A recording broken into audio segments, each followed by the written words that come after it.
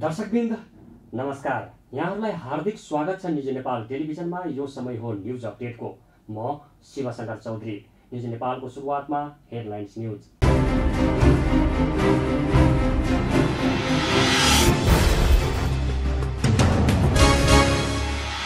नेकपाका नेता छलनाथ खनालसँग नेपालका लागि चिनिया राजदूत होङ याङसीद्वारा भेटवार्ता।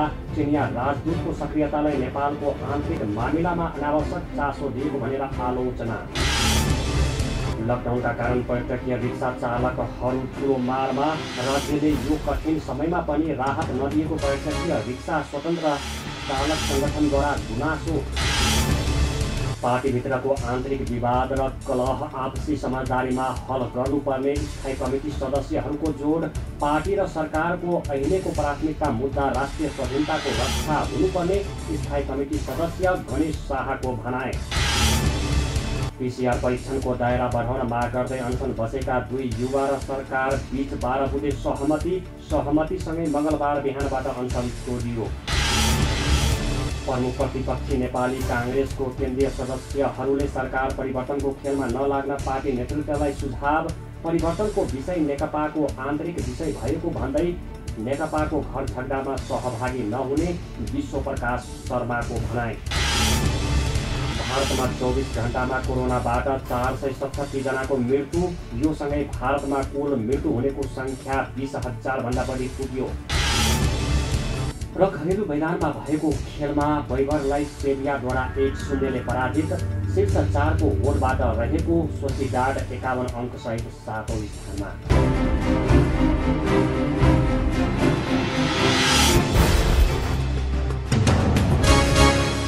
अब न्युज विस्तारमा। काठमाडौँ महानगरीय पर्यटकीय रिक्सा स्वतन्त्र चालक सङ्गठनले बन्दाबन्दी लकडाउनका कारण आफूहरू ठुलो मारमा परेको तर राज्यले यो कठिन समयमा पनि राहत तथा सहुलियत नदिएको गुनासो पोखेको छ। सोमबार रिपोर्टर्स क्लब नेपालमा पत्रकार सम्मेलन गर्दै उक्त सङ्गठनले पर्यटन व्यवसाय हाल ठप्प भएको र तत्काल खुल्ने चल्ने सम्भावना पनि नभएकाले मजदुरहरूको जीवनयापनमा झन समस्या थपिएको उल्लेख गरेको छ। यस्तो अवस्थामा राज्यले आफूहरूलाई वैकल्पिक व्यवस्था गर्नुपर्ने उनीहरूको माग छ। मजदुर प्राय सुकमवासी र घर जग्गा नभएका कोठा भाडामा लिएर बस्न नसक्ने क्षमता समेत नभएकाले रिक्सामा नै सुत्ने होटलमा खाने गर्दै जीविकोपार्जन गरिरहेका निमुखा अबोला गरिब असहायहरू भएकाले निजहरूको पहिचान गरी घाँस बाँस र कपासको व्यवस्था राज्यबाट हुनुपर्ने सङ्गठनको माग छ। सङ्गठनका अध्यक्ष कृष्ण बहादुर विश्वकर्माले नेपालका सबै राजनीतिक दलहरूले मजदुरहरूको एजेन्डा उठाएर नेतृत्वमा पुगे पनि आज मजदुरहरू भने जहाँको त्यही रहेको गुनासो गर्नुभयो। हिजो झन्डा उठाएको मन्त्री यही हो। हिजो त्यो आन्दोलनले उठाएको त्यो दिन महासङ्घ आन्दोलन उठाउने शालिग्राममा चाहिँ उठाउने आज मन्त्री बनेको को भन्दा यही मन्त्री विडम्बना दिनु त। उहाँ कानुन मन्त्री हुनुहुन्छ। हामी रोडमा छौँ। होइन? आज जगत सिंहडाको चाहिँ विषयमा कुरा गरौँ। उहाँले तपाईँको चाहिँ के भन्दा रिक्सा मन्त्रीको इन्चार्ज हुनुहुन्थ्यो। अहिले सांसद हुनुहुन्छ। अहिले चाहिँ तपाईँको चाहिँ धादिङबाट जितेर सांसद बन्नु भएको छ। है। आज त्यो विषयमा मैले अस्ति तपाईँको चाहिँ एक्चुअली बसेर छलफल गरौँ। यो मन्त्रीको विषयमा के छ भन्दाखेरि म अर्कै पार्टी भए पनि एउटै नेकपा नभए पनि केही न केही हो दाइ एक्चुअली बसेर छलफल गरौँ त भने उहाँ पनि भने होइन? हिजो यो जुलुस हजारजना लिँदाखेरि चाहिँ टिकामा डम्बरी आज चाहिँ त्यो जगत सिंहबाट खुसी। अब यो मन्त्री बन्दाखेरि किन खुसी? के अरे दुःखी हुन्न? यही झन्डा उठाउने मन्त्र छ किन तुमिन आज जगत सिंहबाट आज शालिग्राम चम्बरलाई प्रश्न। यही मार्फतबाट मैले भने। होइन? यो प्रश्न उहाँहरूलाई। आजको मिडिया साथीहरूले राम हेरिदिनु भयो भने यो शालिग्राम चम्बरलाई प्रश्न। रिक्सा मजदुरको अधिकार दिन्थे रिक्सा अधिकारको हकको अधिकार दिन्छ भने हिजो दिन्थे आज मजदुर बेचेर खाए ट्रेनिङ मासुम बेचेर खाए आइएलओ बेचेर खाए यो पनि हुन्छ आज यो साथीहरूले के गर्नुभयो बाध्यता पर्यो भने आज कुनै पार्टीले नहेरेको कारणले गर्दाखेरि आज न नेकपाले हेर्न सक्यो न काङ्ग्रेसले हेर्न सक्यो न कसैले हेर्न सक्यो आज स्वतन्त्र स्वतन्त्रमा के अरे रिक्सा सम्पर्क दिनुभयो सङ्गठनले आफूहरू आजको एकाउँसौँ शताब्दीमा पनि पुरानो परम्परावादी साधन प्रयोग गर्दै आएकोमा राज्यको सम्बन्धित निकायले पर्यटकीय रिक्सा खारिजी गरी परिवर्तित इलेक्ट्रिक रिक्सा ल्याई राज्यले बैङ्क वित्तीय संस्थाबाट अनुदान वा ऋण सहयोग मिलाई खरिद गर्ने र किस्ताबन्दी रूपमा तिर्दै जाने व्यवस्था मिलाइदिनुपर्ने पनि माग गर्नुभएको छ। सत्तारूढ दल नेपाल कम्युनिस्ट पार्टी नेकपाका स्थायी कमिटी सदस्यहरूले पार्टीभित्रको आन्तरिक विवाद र कलह आपसी समझदारीमा हल गर्नुपर्नेमा जोड दिएका छन्। पार्टी एकतालाई जोगाउनको लागि पनि नेताहरूले आपसी सहमति कायम गर्नुको विकल्प नभएको उनीहरूको भनाइ छ। सोमबार रिपोर्टर्स क्लब नेपालले आयोजना गरेको साक्षात्कारमा बोल्दै ज्येष्ठ कम्युनिस्ट मञ्चका अध्यक्ष तथा नेकपा स्थायी कमिटी सदस्य एनके पर्साईले नेताहरूले विवेक प्रयोग गर्नुपर्ने बेला आएको बताउनुभयो। प्रधानमन्त्री ओलीले मदन जयन्तीमा आफूलाई भारतले हटाउन खोजेको र भारतको उक्त खेलमा नेकपाका नेताहरूको सहभागिता रहेको भनेर दिएको अभिव्यक्तिका कारण नेताहरूले राजीनामा मागेको उहाँको भनाइ थियो। पार्टी र सरकारको अहिलेको प्राथमिकता मुद्दा राष्ट्रिय स्वाधीनताको रक्षा हुनुपर्ने उहाँले बताउनुभयो। त्यस्तै नेकपा स्थायी कमिटी सदस्य गणेश शाहले अहिलेको समस्या हल गर्नको लागि एक व्यक्ति एक पदमा जानै पर्ने आवश्यकता रहेको बताउनुभयो। पार्टीभित्रको आन्तरिक विवादको बारेमा पुरा देश र जनतामा चासो र चिन्ता देखिएको बताउँदै विवाद समाधान गर्न नेताहरूले प्रयत्न गरिरहेको शाहले बताउनुभयो।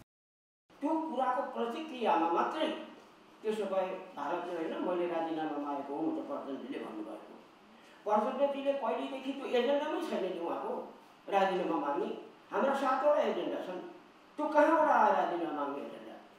त्यो त त्यस बेला बैठक स्थगन भएपछि दुई दिनमा हाम्रा प्रधानमन्त्रीजीले मदन स्मृति दिवसका दिन उहाँले दिएको अभिव्यक्ति र मलाई भारतले के भन्दाखेरि भने देश हाम्रो देशको प्रधानमन्त्रीबाट विस्थापित गर्न कुचालहरू चालेको बारेमा जब उहाँले आफ्नो अभिव्यक्तिहरू उद्घाटन गर्नुभयो र त्यसमा नेपालका नेताहरू पनि भारतीय माने तपाईँको राजदूत लगायत होटल होटलमा बसेर मेरा विरुद्ध षड्यन्त्र भइरहेको छ भन्ने कुरोको अभिव्यक्ति उहाँले दिइसकेपछि त्यसबाट दुई नेताहरूका बिचमा र अरू अन्य नेताहरूका बिचमा पनि तपाईँको कसा प्रसङ्ग एक अर्काका अभिव्यक्तिहरूमाथि आफ्ना व्यक्तिहरूको अभियोगहरू लगाउँदा उत्पन्न भएको परिस्थितिमा मात्रै उहाँले कुरो गर्दाखेरि भने राजीनामा मागेको हो।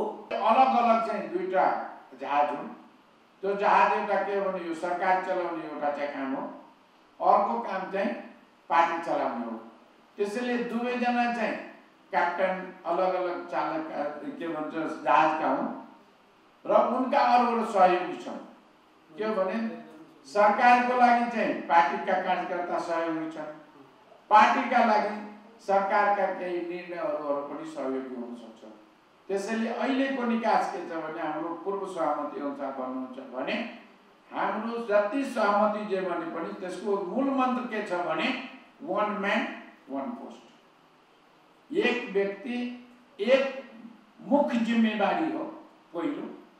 त्यसैले अहिले पनि दुइटै अध्यक्ष मध्ये अहिलेसम्म प्रधानमन्त्री केपी ओलीजीले सरकार चलाइराख्नु भएको छ भने उहाँले पनि अब सरकारको आलोचना भएको हुनाले सरकारको कामहरूमा चाहिँ उहाँले समीक्षा गर्नु पर्यो र पार्टीको सहयोग साथ लिएर चाहिँ उहाँले सरकारको सञ्चालन गर्नेतिर अगाडि गर्नु पर्यो। शाहले नेकपा भित्रको विवाद हल गर्नको लागि पनि एक व्यक्ति एक पदमा जाने पनि स्पष्ट पार्नुभयो। शाहले आगामी साउनको अन्तिममा वा भदौ पहिलो साता नै केन्द्रीय कमिटी बैठक बोलाउनु पर्ने बताउनु भयो नेपालका लागि चिनिया राजदूत होङ याङछीले नेकपाका नेता झलनाथ खनालसँग भेटवार्ता गरेकी छिन्। भेटवार्ताका लागि राजदूत होङ मङ्गलबार बिहान खनाल निवास डल्लो पुगेकी हुन्।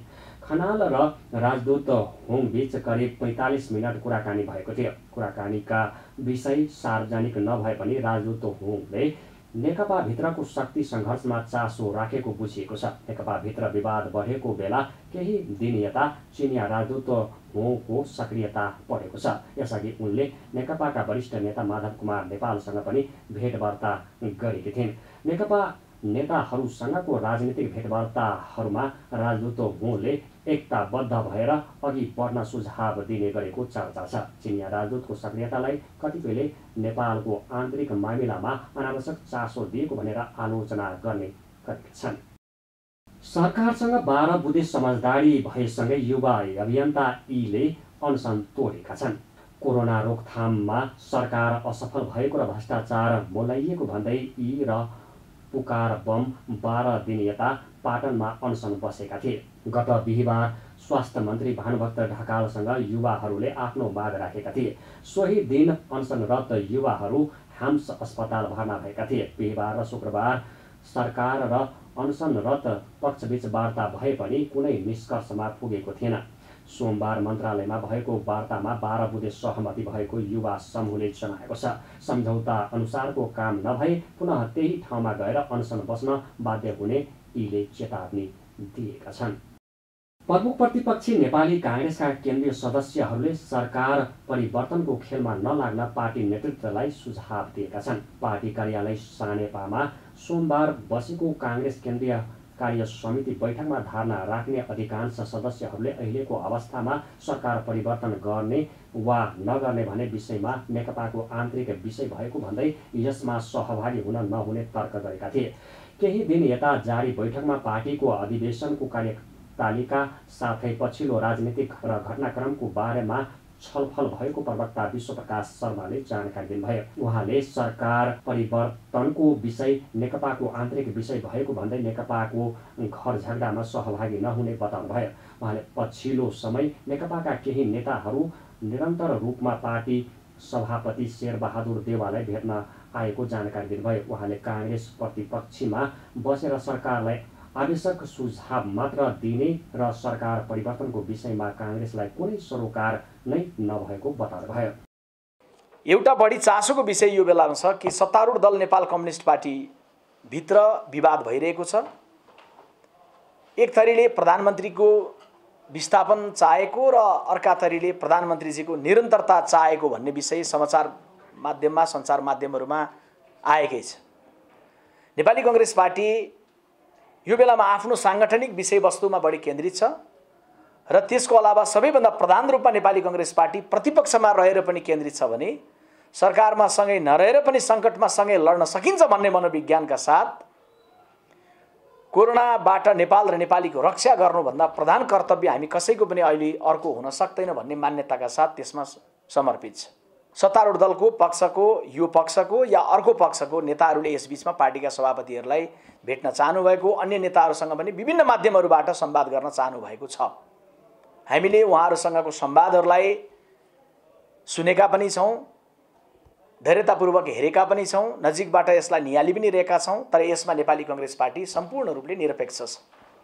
त्यसैले नेपाली कङ्ग्रेस पार्टीका सभापति या अन्य नेताहरूसँगको भेटघाटलाई सार्वजनिक रूपमा प्रचार गर्दै गर्दा नेपाल कम्युनिस्ट पार्टीको आन्तरिक द्वन्द्वमा यो या त्यो पक्षले आफू लाभान्वित हुने ढङ्गले पार्टीभित्रको प्रतिपक्षसँग द्वन्द्व हुँदै गर्दा मुलुकको प्रधानमन्त्रीले मुलुकको प्रतिपक्षसँग संवाद गरेर आफू अनुकूल वातावरण बनाउँदै हुनुहुन्छ भन्ने ढङ्गले भएका प्रचारहरूलाई हामी खारेज गर्न चाहन्छौँ र हामी योसँग बिल्कुलै निरपेक्ष छौँ। नेपाली कङ्ग्रेस पार्टी छिमेकीको पर्खाल ढलेर आफ्नो धुरी अग्लो हुन्छ भन्ने मान्यता राख्दैन। नेपाली कङ्ग्रेस पार्टी जनताले पाँच वर्षका लागि हामीलाई प्रतिपक्षमा रहनलाई म्यान्डेट दिएका हुन्। त्यसकारण प्रतिपक्षको जिम्मेवारीलाई घनीभूत ढङ्गले निर्वाह गर्नुपर्दछ। सरकारले राम्रा कर्महरू गर्दै गर्दा सघाउनु पर्दछ र कमजोरी गर्दै गर्दा सरकारलाई औँला ठडाउनुपर्छ भन्ने आफ्नो पूर्व घोषित मान्यतामा प्रष्ट छ। बैठकमा प्रस्तावित भएको कार्यतालिका केन्द्रीय कार्यालयले मात्रै लिएर आएको होइन। यो नेपाली कङ्ग्रेस पार्टीका पदाधिकारी र पूर्व पदाधिकारीहरू सहितको बैठकले पारित गरेको कार्यतालिका हो। यसमा एउटाले अर्कोलाई अल्म ल्याउनु पर्ने भन्ने बिल्कुलै छैन।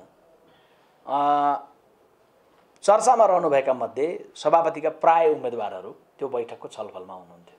प्राय मैले किन भनेको भने सभापतिको उम्मेदवार अरू कोही पनि भन्न सक्नुहुन्छ। त्यस कारणले गर्दै गर्दा यसमा हामीले एक आपसमा अविश्वास राख्ने कुरै छैन। त्यसकारण कार्यतालिका निर्माण गर्दै गर्दा हामीले हिसाब पनि राखेका छौँ दुईवटा कुरा। एउटा एकाउन्नवटा जिल्लामा समायोजनको काम सकिएको छ र छब्बिसवटा जिल्लामा बाँकी छ।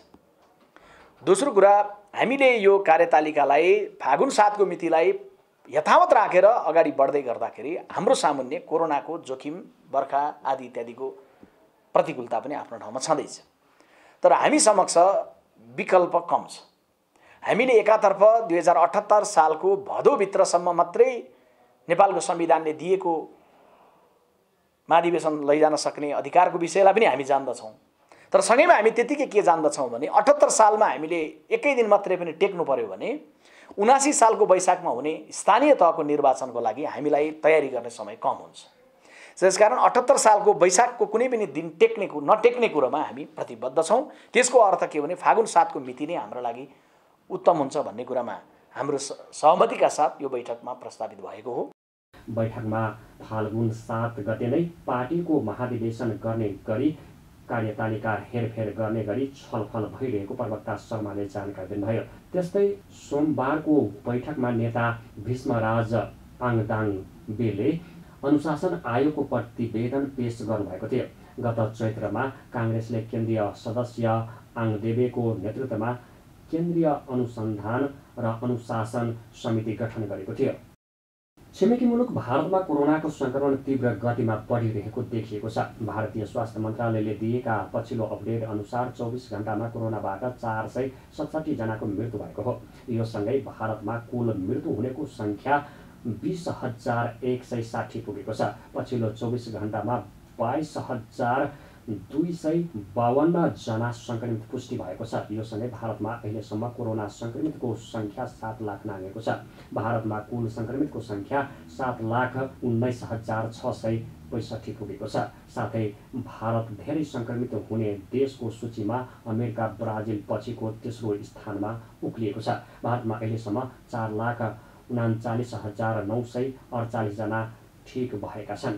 भने दुई लाख उनासाठी हजार पाँच सय सन्ताउन्न कोरोना सङ्क्रमित बिरामी उपचाररत रहेका छन्। त्यसै गरी विश्वभर कोरोना सङ्क्रमितको सङ्ख्या एक करोड सत्र लाख चालिस हजार एक सय सत्तालिस पुगेको छ भने मृतकको सङ्ख्या पाँच लाख चालिस हजार छ सय अस्सी पुगेको छ। त्यस्तै विश्वभर सडसठी लाख छत्तिस हजार तिन सय एकानब्बेजना कोरोना सङ्क्रमित ठिक भएका छन्। हामी न्युज अपडेटको अन्तमा आइपुगेका छौँ। जाँदा जाँदै हेडलाइन्स न्युज पुनः एकपटक।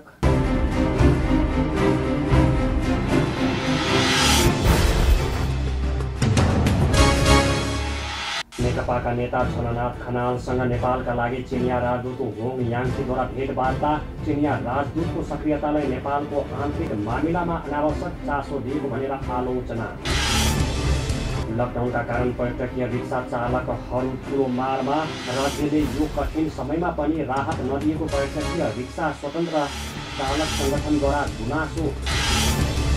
पार्टीभित्रको आन्तरिक विवाद र कलह आपसी समझदारीमा हल गर्नुपर्ने स्थायी कमिटी सदस्यहरूको जोड पार्टी र सरकारको अहिलेको प्राथमिकता मुद्दा राष्ट्रिय स्वाधीनताको रक्षा हुनुपर्ने स्थायी कमिटी सदस्य गणेश शाहको भनाए पिसिआर परीक्षणको दायरा बढाउन माग गर्दै अनसन बसेका दुई युवा र सरकार बिच बाह्र बुधे सहमति सहमतिसँगै मङ्गलबार बिहानबाट अनसन तोडियो।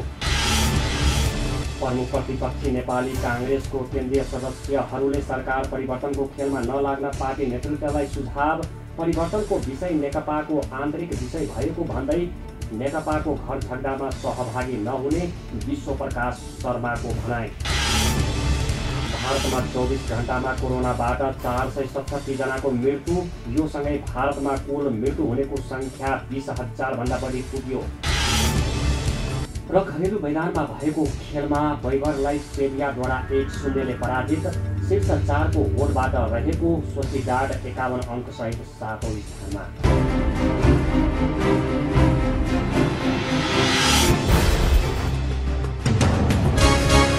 दर्शक मित्र अहिलेलाई न्युज अपडेट यति नै। निरन्तर न्युज अपडेटका साथ हामी पुनः उपस्थित हुने नै छौँ। हेर्दै रहनुहोस् न्युज नेपाल टेलिभिजन। नमस्कार।